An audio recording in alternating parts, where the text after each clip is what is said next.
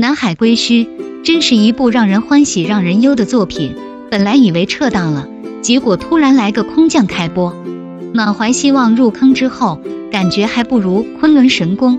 期间几度想弃剧，但情怀不允许，总觉得剧情还会起死回生。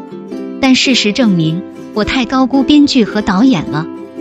一集掐头去尾加上广告，长度还没有二十五分钟，这我可以忍。但你为什么魔改原著，胡编乱造啊？铁三角在剧中的战斗力真是弱爆了，毫无默契度可言。胡八一没有一点领袖气质，生了羊就会唠唠叨叨，胖子油腻到可以炸薯条了。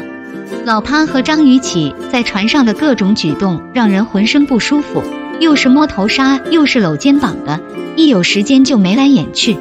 俩中年人强行玩浪漫，再加上夕阳红滤镜，看得我是满屏尴尬。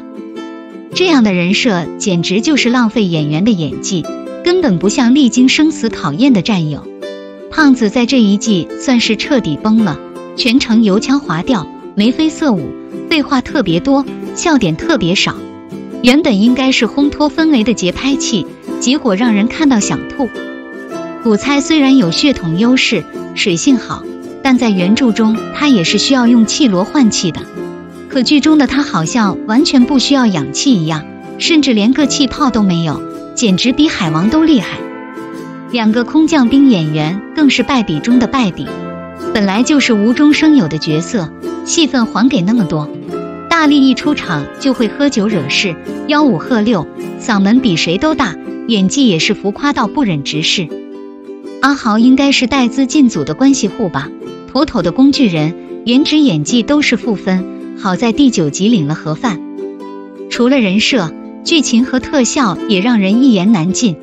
棚内拍摄、后期抠图、五毛特效，一到关键时刻还总是乌漆八黑，很多细节都没有到位。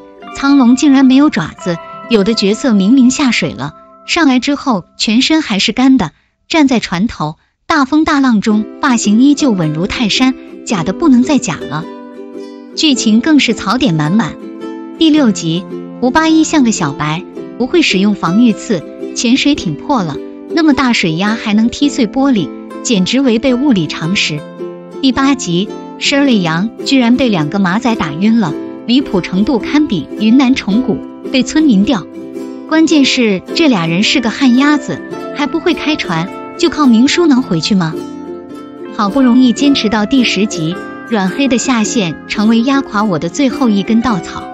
王一泉饰演的阮黑是剧中的关键人物，也是目前为止人设和演技最符合原著的角色。但偏偏在下线的时候，编剧又开始放飞自我了。在原著中，从海眼掉入归墟后，受伤的阮黑被抬到一边休息，众人在清点物资后，准备彻底弃船上救生艇。当胖子和明叔准备把阮黑抬走的时候，流到水中的鲜血吸引了海怪。大鲸泥破水而出，咬住阮黑，沉入海底。但在剧中，都二零二三年了，编剧竟然还写出互相抢包，并同时往一个方向扔的剧情，简直侮辱智商。阮黑下水寻找背包，结果被鲨鱼咬伤，导致胖子和明叔间接成为阮黑死亡的凶手。更雷人的是，阮黑都已经奄奄一息了，多林哭成泪人，俩人还在那斗嘴。没有一点愧疚，真是气到上头。这种刻意营造的戏剧冲突和强行的煽情，真是让人无语凝噎。阮黑的牺牲不仅毫无意义，胖子的人设也彻底扑街了。到了第十集，虽然终于进入归墟，但我真的没有勇气看下去了。整个系列从精绝古城的一鸣惊人，到如今的越拍越烂，观众虽然愿意为情怀买单，但总有消耗殆尽的一天。